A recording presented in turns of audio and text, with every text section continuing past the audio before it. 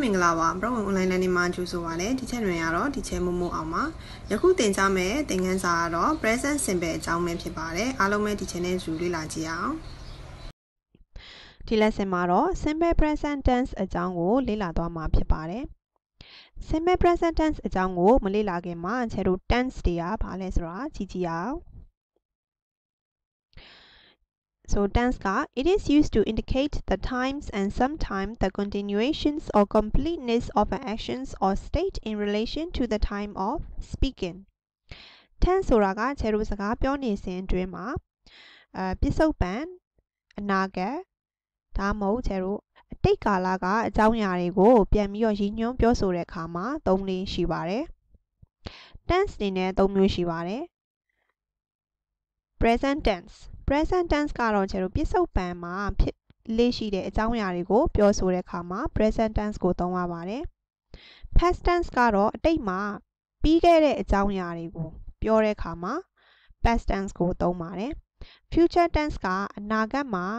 ဖြစ်မဲ့အကြောင်းအရာတွေကို ပြောလေးရှိပါတယ်ဒီ lesson မှာတော့ simple present tense ကို အရင်လေ့လာမှာဖြစ်ပါတယ်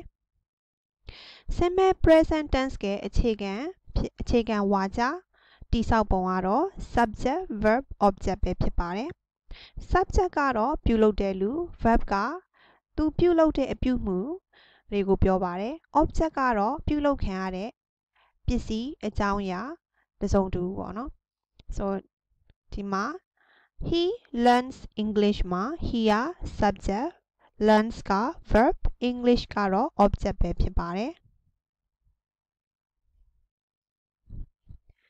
She eats ice cream. သူမရေခဲမုတ်စားသည် They play basketball. သူတို့ basketball ကစားကြသည်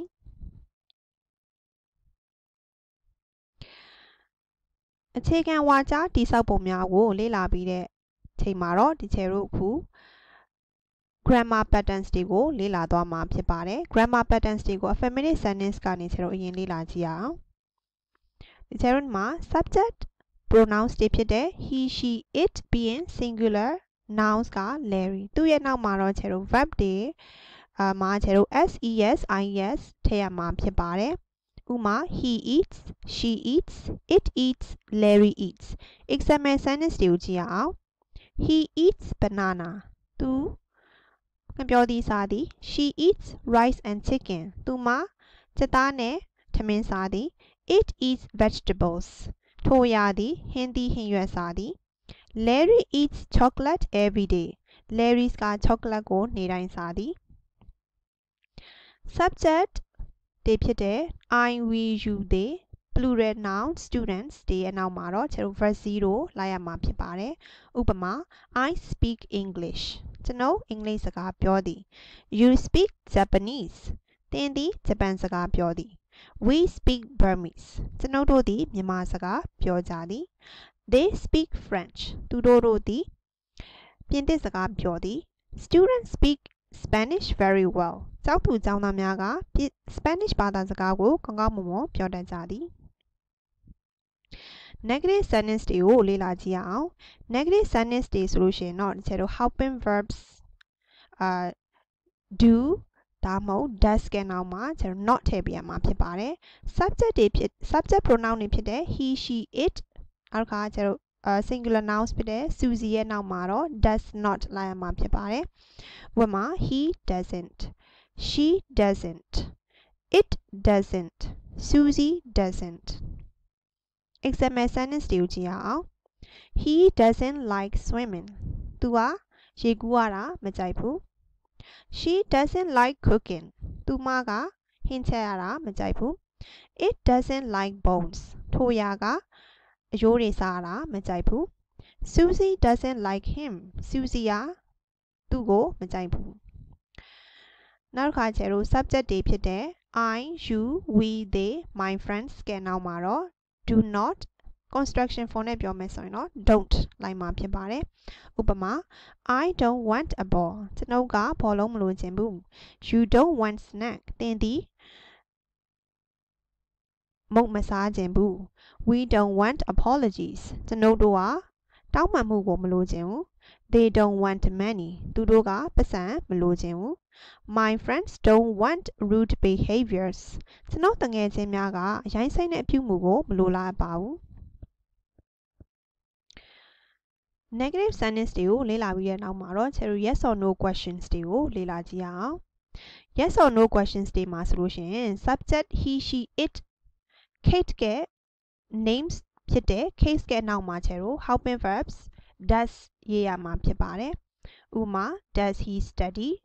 does she swim does it laughed does Kate read examples questions တွေမှာကြည့်အောင် does he study medicine သူသည်ဆေးဝါးလေ့လာနေလားပေါ့နော်ဆိုရင်ဟုတ်တယ်ဆိုရင် yes he does မဟုတ်ဘူးဆိုရင်တော့ no he doesn't does she swim in the swimming pool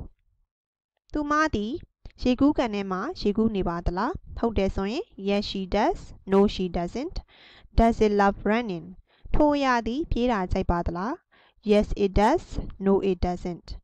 does Kate read a storybook Kate ကပုံမြင်ဖတ်ပါသလားဟုတ်တယ်ဆိုရင် yes she does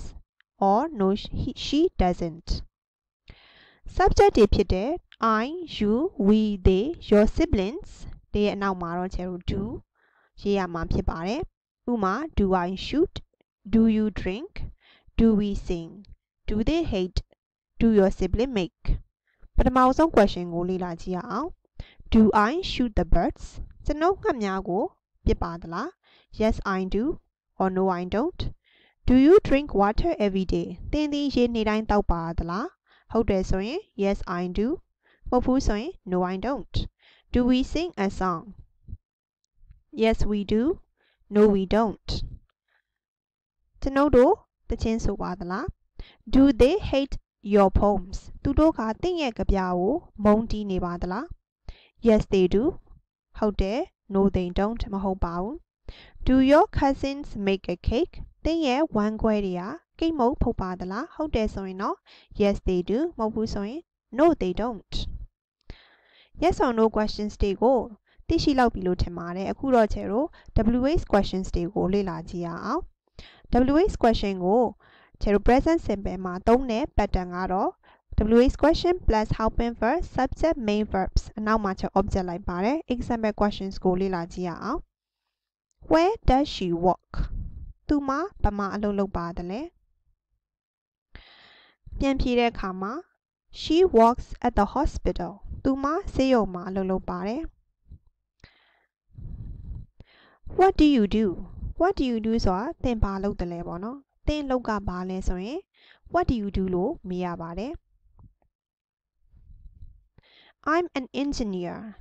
ကျွန်တော်ကတော့ engineer တယောက်ဖြစ်ပါတယ် How do you go to school ကျောင်းကိုဘယ်လိုသွားလဲ How do you go to school I go to school by car ကျောင်းကိုကားနဲ့သွားပါတယ် When does your dog eat သင်ရဲ့ခွေးလေးကဘယ်ချိန်မှာစားလေးရှိတယ် When does your dog eat My dog eat in the afternoon ကျွန်ုပ်ရဲ့ခွေးလေးကတော့နေ့လယ်ပိုင်းချိန်မှာစားလေးရှိပါတယ်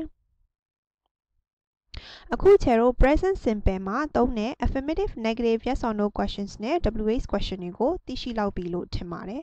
အခုချေတို့ affirmative sentence တွေကို sentence structure တွေကိုကြည့်ကြည့်အောင် affirmative ဆိုလို့ရှိရင်ကျတော့ simple sentence structure ရဆိုရင်အာ subject verb object ဖြစ်ပါတယ်သူ့ကိုကျတော့ negative ပေါ့နော်အငင်းစာကြောင်းနဲ့ပြောမယ်ဆိုရင် subject နဲ့အနောက်မှာ don't doesn't လိုက်ရမှာပါဆိုရင် plus verb plus object yes or no question ဆိုရင်တော့ကျတော့ do does ကို subject ရဲ့အရှိမပို့ပြီးတော့မှကျတော့ subject verb object က sentence structure အတိုင်းရေးရမှာဖြစ်ပါတယ် WH questions အဲဆိုရင်တော့ကျတို့ဒီအဲ helping verbs တွေရဲ့အရှိမ WH question ဖြစ်တဲ့ who what where why how တွေကိုကျတို့ရေးရမှာဖြစ်ပါတယ်အားလုံးပဲကျတို့အခု simple present tense အကြောင်းကိုသိရှိလောက်ပြီလို့ထင်ပါတယ်နောက်ထပ်လည်းဘလို့အင်္ဂလိပ်စာအာဗီဒီယိုများနဲ့မိတ်ဆက်သွားမလဲဆိုတာကိုစောင့်မျှော်ကြည့်ရှုပါရင်ဖိတ်ခေါ်အပ်ပါတယ်အားလုံးပဲကျေးဇူးတင်ပါတယ်ရှင်